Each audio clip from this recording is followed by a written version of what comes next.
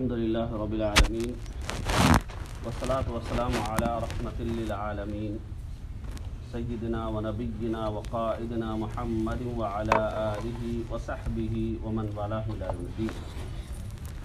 قال الله عز وجل في القرآن المجيد أعوذ بالله من الشيطان الرجيم. بسم الله الرحمن الرحيم. خذ من أموالهم صدقة تطهرهم وتزكيهم بها. معزز سامعین واجب الحترام بزرگوں، آپ سبھی کو میرا اسلام تحیہ، السلام علیکم ورحمۃ اللہ وبرکاتہ۔ بإذن اللہ، آج کا ہمارا موضوع زکوٰۃ اور اس کے احکام۔ اللہ سبحانہ و تعالیٰ قرآن میں ارشاد فرماتے ہیں خود من اموالہم صدقتا تطہرہم وتزکیہم بها اے نبی صلی اللہ علیہ وسلم ان کے مالوں میں سے زکوٰۃ کو لے لیجیے، جس کے ذریعے آپ انہیں پاک و صاف کر دیں گے۔ معزز سامعین، زکوٰۃ کے معنی پاکیزگی، بڑھوتری اور برکت کے۔ اور زکوٰۃ کی اہمیت، زکوٰۃ دین کے فرائض میں سے ایک اہم فریضہ ہے۔ اور زکوٰۃ اسلام کے ارکان میں سے ایک اہم رکن ہے اور زکوٰۃ نماز کے بعد سب سے اہم تر فریضہ ہے۔ جس کی دلیل قرآن کی یہ آیت ہے جو کہ میں نے آپ کے سامنے تلاوت فرمائی، ایک دوسری آیت جس میں اللہ سبحانہ و تعالیٰ فرماتے ہیں و عقیم الصلاۃ و آت الزکا نماز کو قائم کرو اور زکوٰۃ ادا کرو۔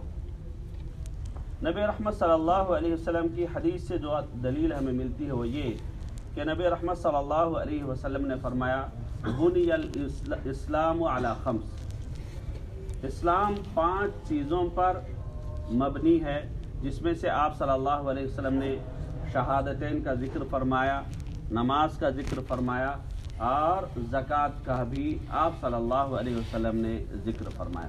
اور اسی طریقے سے نبی رحمت صلی اللہ علیہ وسلم جب حضرت معاذ بن جبل رضی اللہ تعالی عنہ کو یمن کی طرف روانہ کر رہے تھے، تو آپ نے جو تلقین کی تھی، جو وصیت کی تھی، وہ یہ تھی کہ انہیں وہ اہل کتاب ہیں، انہیں تم پہلے توحید کی طرف دعوت دینا۔ اگر وہ شہادتین کا اقرار کرتے ہیں تو کہنا کہ دن دن و رات میں پانچ مرتبہ ان پر نماز فرض ہے۔ اگر اس بات میں وہ تمہاری اطاعت کرتے ہیں تو انہیں بتانا کہ اللہ سبحانہ و تعالیٰ نے تمہارے مالوں میں زکوٰۃ کو فرض کیا ہے۔ زکوٰۃ کو فرض کیا ہے۔ چنانچہ زکوٰۃ فرض ہونے کی دلیل قرآن کی آیت سے بھی آپ کو سنا دی گئی اور احادیث شریفہ سے بھی آپ کے سامنے یہ بات رکھ دی گئی۔ اس کے ساتھ ساتھ اجماع بھی اس بات پر ہے۔ اجماع بھی اس بات پر ہے۔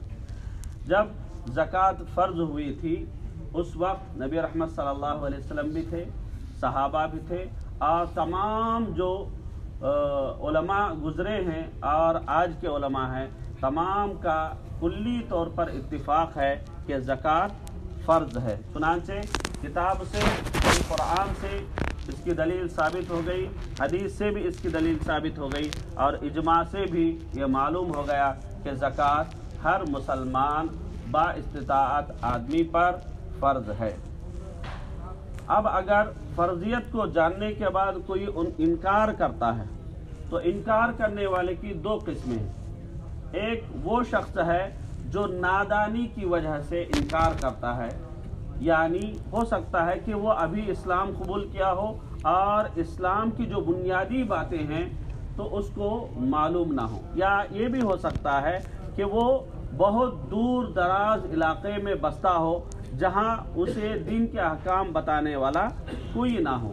اگر صورت ایسی ہے تو وہ معذور سمجھا جائے گا۔ لیکن وہ آدمی جو مسلمانوں کے درمیان میں زندگی گزارتا ہے، مسلک مسلم معاشرے میں زندگی گزارتا ہے اور اس کو اچھے طریقے سے معلوم ہے کہ زکوٰۃ فرض ہے، اس کے باوجود اگر وہ انکار کرتا ہے تو اس کا شمار مرتد میں ہوگا، وہ مرتد شمار کیا جائے گا۔ چنانچہ تین مرتبہ اس سے توبہ کی ڈیمانڈ کی جائے گی، اگر وہ توبہ کر لیا، ٹھیک، ورنہ اگر وہاں اسلامی حکومت ہے تو اس کا قتل کر دیا جائے گا۔ تو معزز سامعین اس کی دلیل یہ ہے کہ زکوٰۃ کی فرضیت قرآن سے ثابت ہے، زکوٰۃ کی فرضیت حدیث سے ثابت ہے اور زکوٰۃ کی فرضیت اجماع سے بھی ثابت ہے۔ اب ان تینوں چیزوں کو وہ نہیں مان رہا ہے، پھر کس بات کا اسلام اس کے اندر باقی رہتا ہے؟ اس کے بعد محترم سامعین، اب مسلمان شخص تو مسلمان ہے، لیکن اس کے اندر کنجوسی پائی جاتی ہے، بخیلی پائی جاتی ہے۔ تو وہ مسلمان ہونے کے باوجود وہ زکوٰۃ نہیں دیتا یعنی زکوٰۃ کی فرضیت کو تو مانتا ہے، اس کو پورے طریقے سے معلوم ہے، مانتا بھی ہے کہ زکوٰۃ فرض ہے، لیکن کنجوسی کی بنیاد پر وہ زکوٰۃ نہیں دیتا، تو وہ اسلام کے دائرے ہی میں رہے گا، اسلام کے دائرے سے وہ باہر نہیں ہوگا۔ لیکن نبی رحمت صلی اللہ علیہ وسلم نے فرمایا، جو ایسا کرتا ہے تو وہ دیکھے، وہ اپنا جو ہے محاسبہ کرے کہ اس کا جو راستہ اختیار کیا ہوا راستہ ہے، اس کو جنت میں لے جائے گا یا جہنم میں لے جائے گا؟ یعنی اس کا معنی یہ ہے کہ اگر وہ مسلمان نہ ہوتا تو نبی رحمت صلی اللہ علیہ وسلم جنت کا ذکر ہرگز نہیں کرتے۔ جنت کا ذکر آپ صلی اللہ علیہ وسلم نے کیا، اس کا معنی یہ ہے کہ وہ مسلمان ہے، لیکن اگر اس بات پر یعنی اس کو ڈیمانڈ کیا جا رہا ہے، مانگ کی جا رہی ہے کہ تمہیں زکوٰۃ دینا ہے لیکن وہ نہ دینے پر تلا ہوا ہے اور اس کے لیے وہ لڑنے کے لیے تیار ہے، تو ایسے میں اس سے قتال کیا جائے گا اور اس کو قتل بھی کر دیا جائے گا اگر وہ زکوٰۃ دینے کے لیے اگر راضی نہیں ہوا۔ چنانچہ اس کے جو دلیل ہیں، قرآن سے اگر آپ لیتے ہیں، اللہ سبحانہ تعالیٰ فرماتے ہیں، فَإِن تَابُوا وَأَقَامُوا الصَّلَاةَ وَآتُوا الزَّكَاةَ۔ اگر انہوں نے توبہ کر لی، نماز کو قائم کر لیا، زکوٰۃ کو ادا کر لیا، فخلو سبیلا۔ تو ان کا راستہ تم چھوڑ دو۔ اور حدیث سے ثابت جو بات ہے وہ یہ نبی رحمت صلی اللہ علیہ وسلم نے فرمایا امر تو انقاتل الناس کہ مجھے حکم دیا گیا کہ لوگوں سے میں قتال کروں، یہاں تک کہ وہ شہادتین کا اقرار کر لیں اور نماز قائم کر لیں۔ تیسری جو ذکر، بات کا ذکر نبی رحمت صلی اللہ علیہ وسلم نے کہا، وہ زکوٰۃ ادا کریں۔ چنانچہ ابو بکر رضی اللہ عنہ کا فعل بھی اس پر دلالت کرتا ہے۔ ابو بکر رضی اللہ عنہ نے فرمایا، لو منعونی عناقا یعنی بکرے کا جو ایک سال بھی پورا نہ ہوا، ایسا بچہ جو ہوتا ہے، تو اس کے تعلق سے ابو بکر رضی اللہ عنہ فرماتے ہیں، نبی رحمت صلی اللہ علیہ وسلم کے زمانے میں زکوٰۃ میں اس کو یہ دیا کرتے تھے، اگر اس بچے کو بھی مجھے دینے سے اگر روکتے ہیں دوسری روایت میں ہے، رسی کو بھی اگر یہ روکتے ہیں تو میں ان سے قتال کروں گا۔ اور جب یہ بات ابو بکر رضی اللہ تعالیٰ عنہ فرما رہے تھے، اس وقت تینوں خلیفہ موجود تھے۔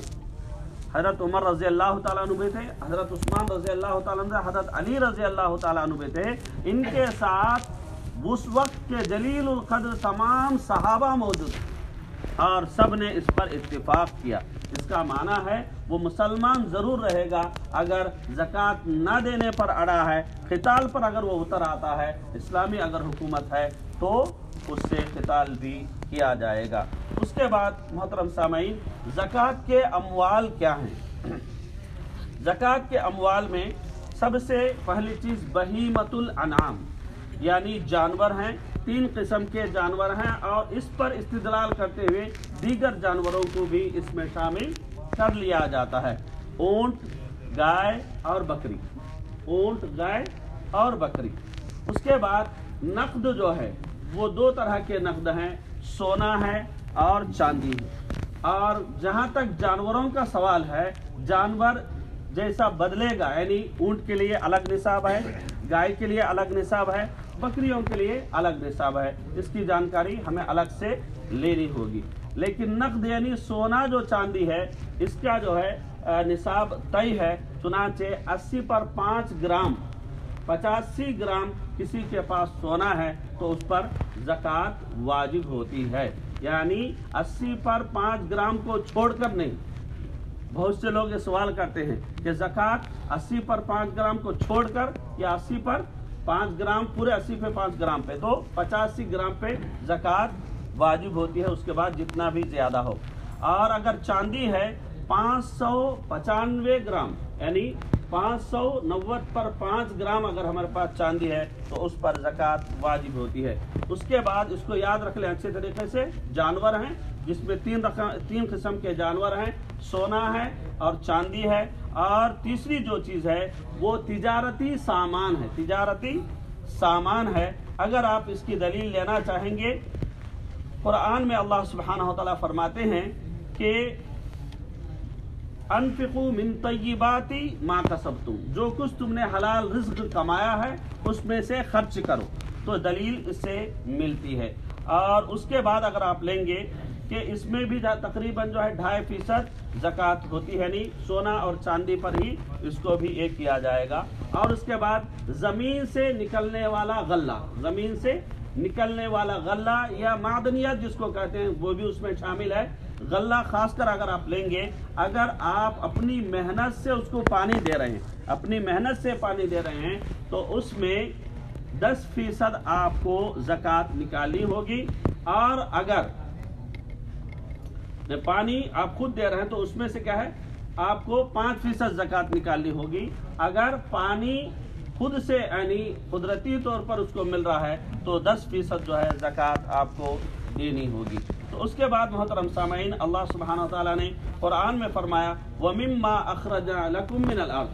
جو کچھ ہم نے تمہارے لیے زمین سے نکالا ہے، اس میں سے بھی تم زکوٰۃ دو۔ چنانچہ یہ جو پانچ جو ہے چیزیں آپ لوگوں کے سامنے رکھی گئی ہیں، ایک جانور ہیں اور دوسرے کیا ہے، نقد ہیں، تیسرا کیا ہے، تجارتی سامان ہے چوتھا کیا ہے، زمین سے نکلنے والے دانے ہیں، جس میں گیہوں ہو سکتا ہے، چاول ہو سکتا ہے، اور اسی طریقے سے زمین سے نکلنے والے معدنیات بھی ہیں، جس میں لوہا بھی ہو سکتا ہے، دیگر چیزیں بھی ہو سکتی ہے تو یہ اس کی یہ ہے۔ اب زکوٰۃ کے اگر فوائد آپ لیتے ہیں، تو سب سے پہلا جو فائدہ ہے وہ یہ کہ زکوٰۃ دینے سے مال محفوظ ہو جاتا ہے۔ مال محفوظ ہو جاتا ہے کیونکہ جس مال میں زکوٰۃ نہیں نکالی جاتی، وہ مال جو ہے ختم ہو جاتا ہے مال ختم ہو جاتا ہے۔ اس لیے کہ وہ حق ہے، حق کو اگر ہم نے نہیں نکالا تو مال ختم ہو سکتا ہے۔ دوسری جو چیز ہے، مال پاک ہوتا ہے۔ مال جب پاک ہوتا ہے، تو اس میں بڑھوتری ہوتی ہے، اس میں برکت ہوتی ہے۔ وہ اللہ سبحانہ و تعالیٰ اس مال کی حفاظت کریں گے، زکوٰۃ نکالنے پر۔ یہ سب سے پہلا فائدہ ہے۔ زکوٰۃ نہیں نکالیں گے، مال خراب ہوگا اور ساتھ ہی اس کی حفاظت کا ذمہ اللہ سبحانہ و تعالیٰ نہیں لیں گے۔ اس کو یاد رکھنا ہے۔ دوسری جو چیز ہے، مالدار جو آدمی ہے نا، زکوٰۃ دینے والا جو آدمی ہے، وہ خود پاک ہوتا ہے۔ مال کی محبت سے پاک ہوتا ہے، دنیا کی محبت سے پاک ہوتا ہے، لالچ سے پاک ہوتا ہے، حسد سے پاک ہوتا ہے۔ چنانچہ یہ دوسرا فائدہ ہے۔ تیسرا جو فائدہ ہے، غریب سے ہم جو ہے، ہمدردی جتاتے ہیں۔ یعنی غریب کا اس میں بھلا ہو جاتا ہے، غریب کا اس میں اچھا ہو جاتا ہے۔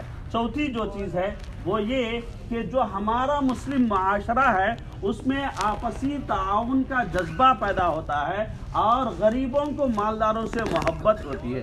کیونکہ اگر مالدار یہ جو حق ان کے مالوں میں اللہ سبحانہ وتعالی نے رکھا ہے، نہیں دیں گے، تو غریب ان کے تئیں جو ہے کینا کپٹ کا شکار ہوں گے، بغض انعد کا شکار ہوں گے۔ ہو سکتا ہے کہ ان کے درمیان انقلاب آئے اور مالداروں کو وہ ختم کر کے ان کا مال لوٹ بھی لیں، جیسا کہ دیگر سماجوں میں دیکھا جاتا ہے۔ اور پانچواں جو فائدہ ہے وہ یہ کہ اللہ نے ہمیں مال سے نوازا ہے۔ یعنی یہ سارا کا سارا مال کس کا ہے؟ جان ہو، مال ہو، ساری کی ساری کس کی؟ اللہ سبحانہ و تعالیٰ کی عطا کی کیا ہوا؟ یہ سارا کا سارا ہے۔ چنانچہ ہم اللہ سبحانہ تعالیٰ شکر ادا کرتے ہیں کہ اللہ تو نے مجھے مال دیا اور اس میں حق رکھا۔ میں تیرے حکم کی پاسداری کرتے ہوئے اس حق کو ادا کر رہا ہوں۔ چنانچہ اللہ سبحانہ و تعالیٰ کا شکر ادا ہوگا۔ شکر ادا ہوگا تو کیا ہوگا؟ ان شکر تم تم نے شکر ادا کیا تو میں اور بڑھا کر تمہیں دوں گا۔ اور اسی طریقے سے چھٹا جو فائدہ ہو یہ کہ جو مالدار زکوٰۃ دیتا ہے، اس کے ایمان کی تصدیق ہوتی ہے۔ معلوم ہوتا ہے کہ سچا ایمان والا ہے۔ یہ سچا اپنے ایمان میں، یہ پکا ہے، سچا ہے، اس لیے زکوٰۃ نکال رہا ہے۔ اور ساتویں جو چیز ہے، وہ یہ کہ زکوٰۃ کا نکالنا اللہ سبحانہ و تعالیٰ کی رضا اور اس کی خوشنودی کا سبب ہوتا ہے۔ وَرِضْوَانُ اللَّهِ اکبر جنت کی تمام نعمتوں سے بڑی نعمت کیا معلوم ہے؟ اللہ سبحانہ و تعالیٰ کی رضا مندی ورضوان اللہ اکبر جنت سے بڑی نعمت کیا ہے؟ اللہ کی خوشنودی ہے۔ چنانچہ خوشنودی کو ہمیں عطا کرنے والا جو ہے زکوٰۃ ہے، چنانچہ اللہ سبحانہ و تعالیٰ زکوٰۃ کا ذکر فرماتے ہوئے فرماتے ہیں کہ وہ لوگ جو اللہ کے راہ میں خرچ کرتے ہیں، ان کی مثال ایسی ہے کہ ایک دانہ ہے جس کو زمین میں بویا گیا ہے، اس سے سات بالیاں نکلی ہیں اور ہر بالی میں سو سو دانے ہیں اور اللہ سبحانہ و تعالیٰ جس کو چاہتے ہیں، اس سے بھی بڑھا چڑھا کر اللہ سبحانہ و تعالیٰ دیتے ہیں۔ چنانچہ معزز سامعین زکوٰۃ یقیناً ہم سب کے لیے جو ہے فائدہ مند سودا ہے، اور ہم سب کے لیے رحمت الہی کا ذریعہ ہے۔ اور ہمارے معاشرے کے کئی سارے مسائل کا بہترین جو ہے حل زکوٰۃ ہے، چنانچہ ہمیں چاہیے کہ اگر ہم زکوٰۃ دے رہے ہیں، اللہ سبحانہ تعالیٰ کا شکر ادا کریں کہ اللہ نے توفیق دیا۔ اگر ہم مالدار ہونے کے باوجود زکوٰۃ نہیں دے رہے ہیں، نبی رحمت صلی اللہ علیہ وسلم کی اس چیتاونی کو بھی سنتے جائیں۔ اگر جانور ہیں تو نبی رحمت صلی اللہ علیہ وسلم فرماتے ہیں، اس جانور کو اس سے بہت ہی بڑا یعنی موٹا بنا کر لایا جائے گا اور وہ جانور سینگ سے اس کو مارے گا اور اپنے پاؤں سے اسے روندے گا اور ایک جانور کے بعد دوسرا جانور اس طریقے سے اس کو سزا دی جائے گی۔ اگر سونا چاندی ہے، سونا چاندی کو تپا کر اس کے جو ہے پیٹ پر داغا جائے گا۔ ایک دوسری حدیث میں ہے، خطرناک جو ہے گنجے سانپ کی شکل میں لایا جائے گا اور وہ سانپ یہ کہتا ہوا اس کو ڈستا رہے گا کہ میں تیرا مال ہوں، میں تیرا مال ہوں۔ چنانچہ معذر سامعین، اللہ سبحانہ و تعالیٰ نے قرآن میں ارشاد فرمایا، اس بات سے میں اپنی بات کو ختم کرتا ہوں۔ وہ یہ کہ اللہ سبحانہ و نے تعجب کا اظہار فرمایا ان لوگوں پر جو یہ جان کر بھی کہ جہنم بہت ہی خطرناک ہے۔ اس میں جانے کی جسارت کرتے ہیں۔ اللہ فرماتے ہیں، فما علی النار۔